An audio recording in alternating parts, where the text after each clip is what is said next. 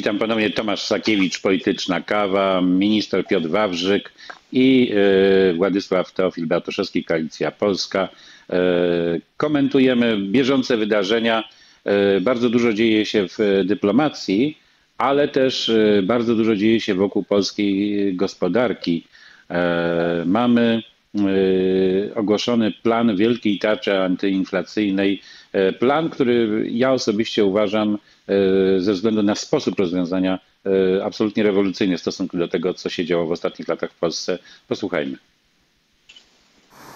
Od 20 grudnia do 20 maja akcyza na paliwa zostanie obniżona do poziomu minimum unijnego. Dodatkowo od 1 stycznia do 31 maja 2022 roku paliwa zostaną zwolnione z podatku od sprzedaży detalicznej. Tańszy będzie też gaz i prąd dzięki obniżeniu podatku VAT na 3 miesiące od stycznia do marca. VAT na gaz zostanie zmniejszony do poziomu 8%, a na energię elektryczną do 5%. Z inicjatywy posłów Prawa i Sprawiedliwości została przyjęta e, e, ustawa zmieniająca ustawę prawo energetyczne, która pozwala skutki tych wysokich cen gazu rozłożyć e, w czasie w okresie trzech lat. Tarcza antyinflacyjna to odpowiedź rządu na rosnące ceny żywności, gazu i paliw. Praktycznie wszystkie banki centralne na całym świecie od Stanów Zjednoczonych przez Europę aż tutaj do Polski sygnalizują, że inflacja ma osiągnąć swoje ekstremum w pierwszym kwartale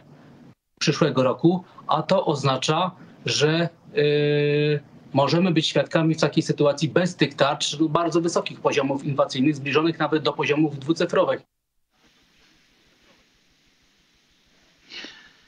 Dlaczego uważam, nie wiem czy panowie się zgodzą ze mną, że jest rewolucyjny w stosunku do dotychczasowych metod, bo do tej pory e, wszelkie akcje socjalne tego rządu polegały na tym, czy ekonomiczne, żeby dosypać pieniędzy, czyli dodać pieniędzy szczególnie rodzinom. No i, i większość komentatorów spodziewała się jakiegoś talonu antykryzysowego, drożyźnianego, jakkolwiek by to nazwać, dodatków dla biedniejszych rodzin, które najbardziej cierpią, bo rzeczywiście inflacja najbardziej uderza e, w tych, którzy muszą dzisiaj płacić większe rachunki za prąd i żywność.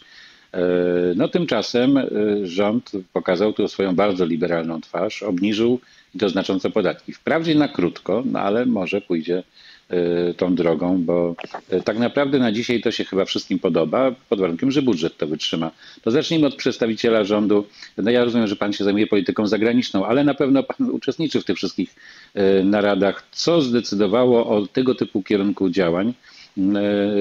I z tego co wiem, to Unia, która zawsze zachęca tutaj do różnych działań takich E, typu obniżanie podatków, e, nagle powiedziała, że teraz to przesadziliście i nie pozwoli nam nawet e, zerowego VAT-u na żywność prowadzić, który chciał rząd. Swoją drogą no zupełna bezczelność. Nie wiem, dlaczego oni nam mogą nie pozwolić na to, no ale widać, tak, tak mamy w traktatach. Panie ministrze. Pamiętajmy o tym, że praprzyczyną inflacji, właściwie inaczej, inflacji rozumianej jako wzrost cen artykułów w sklepach, jest wzrost cen transportu kosztów transportu i wzrost nośników, e, nośników energetycznych, bo bez tych dwóch elementów nie da się nie da się znacząco podnieść cen artykułów, jeżeli te dwa, jeżeli te dwa elementy są na stałym albo niskim, albo niskim poziomie. Dlatego też podejście zaprezentowane przez, przez nas odwołuje się właśnie do tych dwóch elementów E, obniżona akcyza, zerowy podatek, e, zerowy podatek e, od sprzedaży detalicznej, niższy VAT oraz no właśnie zniesienie akcyzy z kolei na energię dla gospodarstw domowych, tak aby te koszty, te koszty główne, które generują wzrost cen, po prostu zminimalizować. Licząc, liczymy mówiąc wprost na to, tak jak w przypadku paliw, że to będzie od 20, niektórzy ekonomiści mówią nawet o 30, ja myślę, że około 25 groszy na litrze spadnie cena paliwy w odbiorze detalicznym, no to tym samym proszę popatrzeć, jak zmniejszą się koszty transportu towarów, wszystkich towarów, do, gdziekolwiek y, przewożonych, bo wszędzie to paliwo jednak jest używane.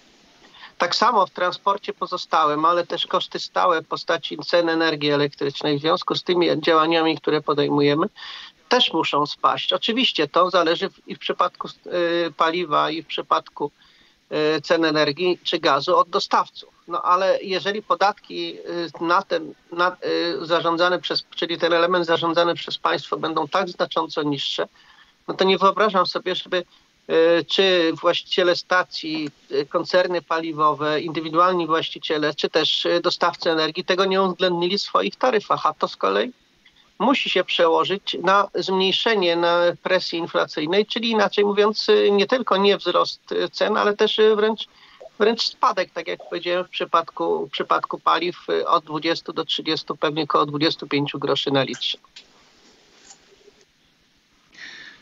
Pan poseł Teofil Bartoszewski e, powinien być zachwycony obniżeniem cen paliw, bo to najbardziej uderzało i w ogóle kosztów e, wytwarzania żywności, bo to najbardziej uderzało w wieś i ludzi, e, którzy próbują sprzedać teraz produkty, mając coraz większe koszty wytwarzania. E, czy może PSL na ten temat inne zdanie, że należy inaczej walczyć z inflacją? Wręcz przeciwnie, jestem zachwycony tym, że nasz, e, nasze sugestie, które kilka tygodni temu e, e, zaproponowaliśmy rządowi, czyli obniżyć VAT i, i akcyzę na energię elektryczną i, i, paliwa, zostały zaakceptowane i wprowadzone w życie. Ja to, to absolutnie popieram. Tutaj sytuacja jest troszkę bardziej skomplikowana niż mówi pan minister, dlatego że mm, o ile zgadzam się, że ceny za litr benzyny mogą spaść o 25 groszy, o tyle na diesla to już nie. To już nie. E, to może spaść o parę groszy, 2-3 grosze, więc to nie jest tak jednoznaczna sytuacja.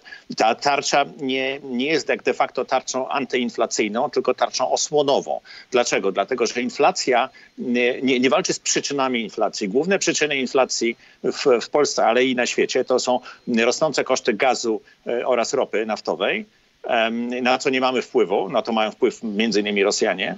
Mm, e, a druga to jest wartość złotówki. Jeżeli przy słabej złotówce, kiedy my tę te, te, e, ropę kupujemy za dolary, to inflacja się zwiększa. Więc tu, tu jest rzecz, której, której ta tarcza, z którą ta tarcza nie walczy, ale jest bardzo korzystna dla, dla ludzi. Co jeśli chodzi o rolników, ponieważ na przykład zakłady, główne zakłady, które produkują nawozy azotowe w Polsce, czyli płaskie azoty, E, tam 40% e, kosztów to jest gaz. E, jeżeli ten gaz jest bardzo drogi, to przekłada się na wzrost kosztów nawozów azotowych, które poszły do góry 300%, co przełoży się na koszt chleba w sklepie. No i tutaj rząd robi, to jest słuszne działanie. My to absolutnie popieramy, zwłaszcza jako byli wnioskodawcy. Natomiast należy sobie zadać pytanie, jak długo ten wzrost inflacji będzie trwał. Tu jeden z ekonomistów uważał, że to pierwszy kwartał i będzie, będzie lepiej. To nie jest całkiem jeszcze pewne taka tarcza powinna działać tak długo, jak inflacja jest znacząco przewyższająca e, e, e, założenia nasze, które było kiedyś, że inflacja powinna się mieścić w, okolicy 2,5%. W tej chwili jest mowa o tym, że może w przyszłym roku do, dojść do dwucyfrowej. To jest niebezpieczeństwo, które, które, na które trzeba zwracać uwagę. No i tutaj Rada Polityki Pieniężnej powinna, że tak powiem, to monitorować troszkę bardziej aktywnie niż do tej pory.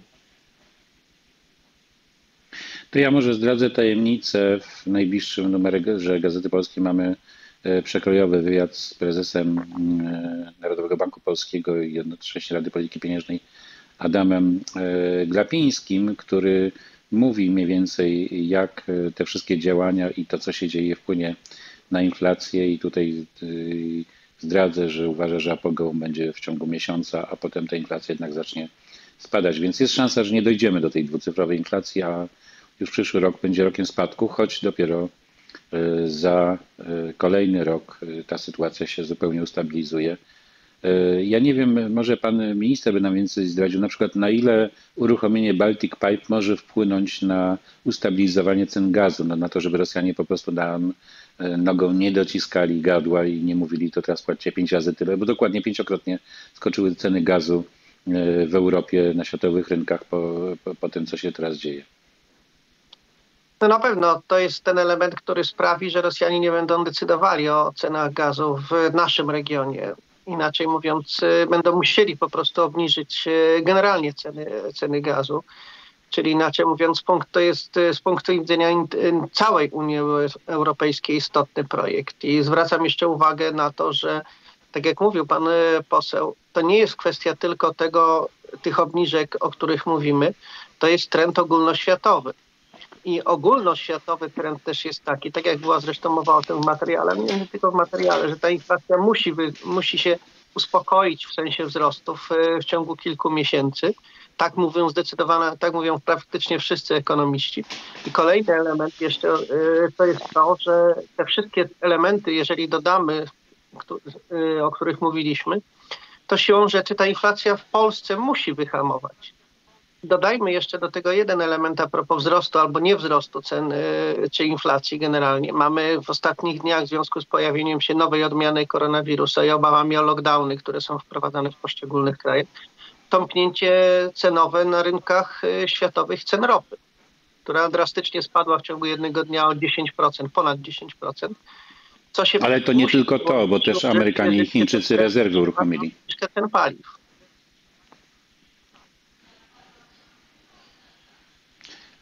Panie pośle,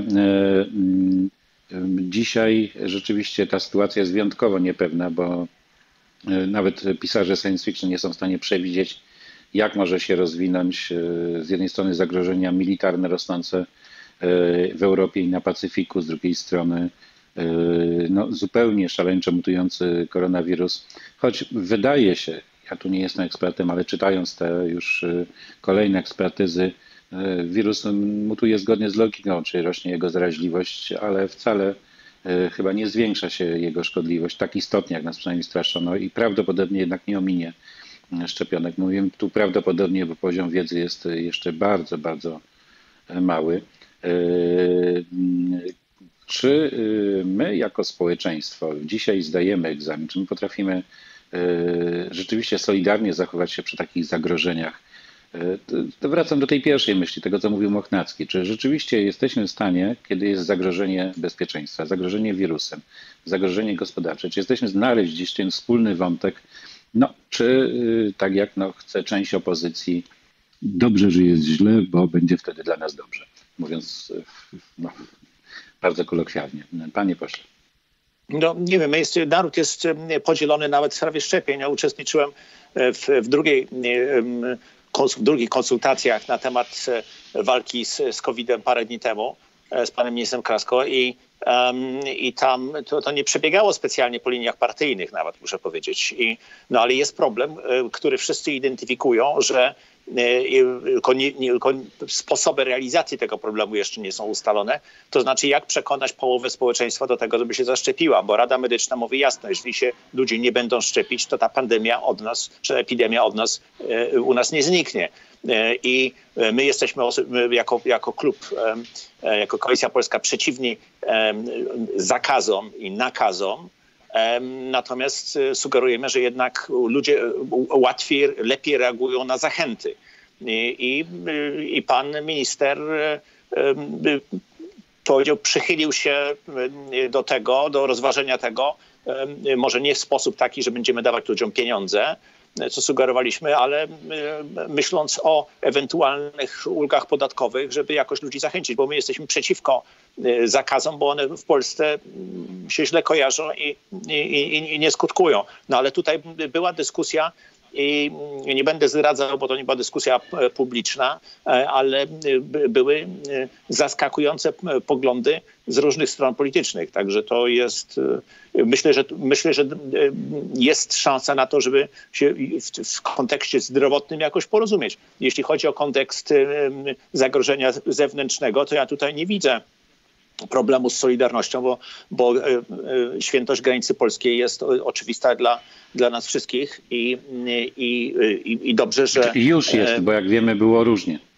No, ja myślę, że w, nikt nie uważał, że, że należy iść na ustępstwa dla uzurpatora Łukaszenki. Myśmy bardzo jasno mówili, że, że, że, że się z takowymi nie zgadzamy.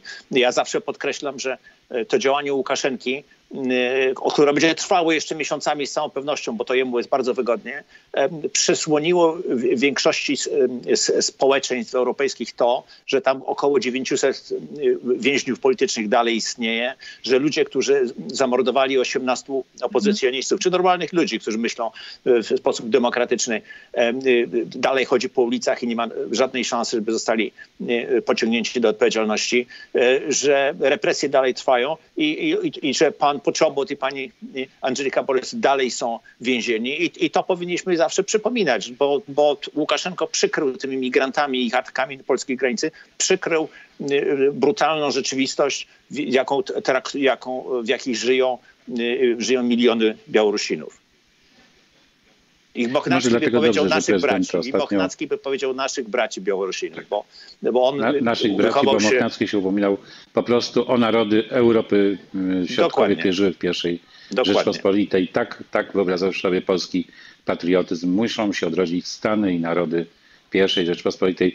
Niestety musimy już kończyć, choć rozmowa dla mnie akurat historycznie bardzo ciekawie się rozwija, ale może do niej jeszcze wrócimy, bo Mochnacki, jak widzimy, wiecznie żywy jest. No to mi się źle kojarzy, Jego myśl nie umarła. Myśl nie umarła. Ale nie umarła. powiedzenie samo w sobie ma pewną wartość. I, i, i, i, I rzeczywiście Mochnacki przeżył nas i przeżyje nas wszystkich pewnie. Na następne pokolenia jego myśl będzie bardzo mocna. Ba bardzo dziękuję. Piotr Wawrzyk, Władysław Tofil, Bartoszewski byli Dziękuję gośćmi, a za chwilę dowiemy się, co media społecznościowe mówią o tym, co się wokół nas dzieje, a działo się bardzo dużo.